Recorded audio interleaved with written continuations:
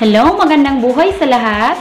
Gusto ko lang batiin ang isa sa pinakamabait, pinaka mahinahon, bisaya, no? Napaka-sweet na ate na nakilala ko sa YT, si Ate Lalay Abando. Ate, happy birthday. Happy, happy birthday.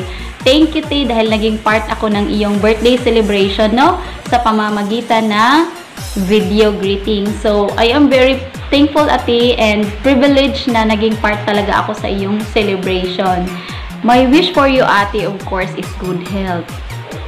Dahil andyan ka sa malayo, and sana'y protektahan ka ni Lord, maglig-on, sana'y maglig-on, juga diha pirmi ate, amping ka diha pirmi kanunay, and stay pretty, and stay kind, and stay um, generous, basta stay what you are ate. You are, you are so blessed. And I am so blessed na nakilala kita sa YT. Ate, I am very thankful. Maraming salamat talaga. Sana'y mag-grow pa ang ating channel, lalo na sa iyo. More views, more subscribers, and time will come, no? Na pagpalain tayo ni Lord. Pagpalain ka more ni Lord. Thank you, te, and Love you!